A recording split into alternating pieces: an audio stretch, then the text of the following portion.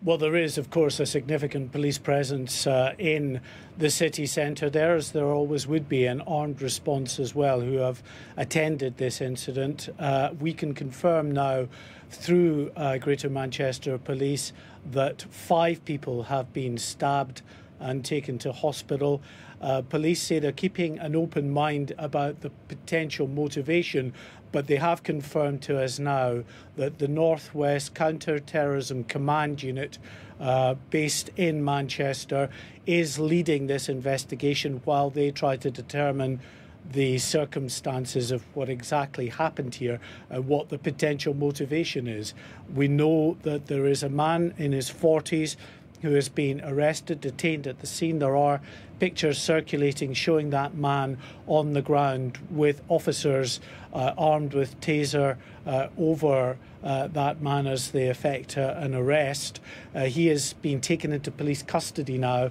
Uh, it's very early on in this incident, so understandable that police are approaching this through an abundance of caution in terms of determining what the actual motivation is. Uh, they probably uh, have no real idea until they can get uh, a, a, conversation, a chat with this man, and we don't know whether this man will be compliant with that, whether he will say anything to the police. Sometimes uh, individuals arrested in violent incidents like this just don't speak, so it takes a while for the police to dig into a background of an individual to be able to determine what the potential motivation was. But this is clearly a very serious incident that has unfolded at the Arndale Shopping Centre in Manchester city centre.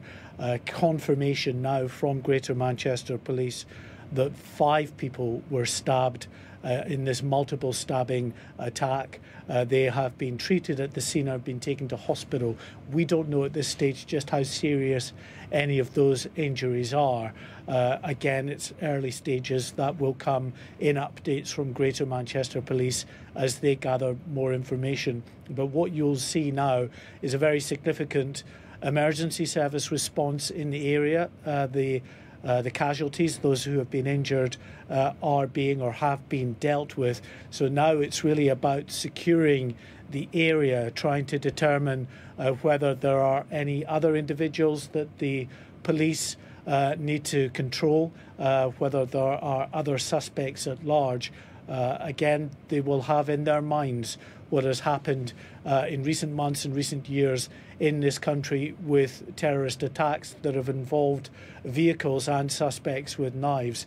And if you look back to the likes of London Bridge, there wasn't just one suspect, there were three terrorists involved in that incident. It took a number of hours before police were fully satisfied that all of those who were involved in the attacks had been accounted for. It's likely uh, that uh, we, we will see a protracted police operation around the Arndale Centre uh, with those police reinforcements just checking the area, uh, checking CCTV, of course, speaking to eyewitnesses and making sure uh, and satisfying themselves that the one individual they have in custody, this man in his 40s, is the only suspect that they need to be concerned about.